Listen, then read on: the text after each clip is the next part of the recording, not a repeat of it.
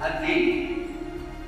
having come here freely and without reservation give yourself to each other in this marriage?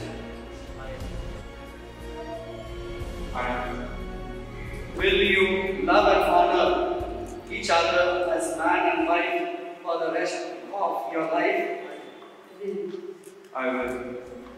Will you accept children lovingly from God and bring them up and his church.